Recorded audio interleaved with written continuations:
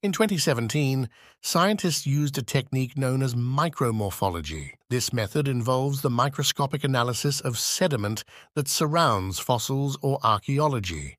The technique was used to identify hearth features at Liang Bua Cave, Indonesia. These small fireplaces were not obvious to the naked eye, but under the microscope showed all of the characteristics of burning, including micro traces of charcoal and ash. In the case of H. naledi, micromorphology could have provided evidence for or against the idea that the remains were deliberately buried. It might have found traces of a grave cut or subtle differences in the sediment used to cover the body that might not have been obvious during excavation.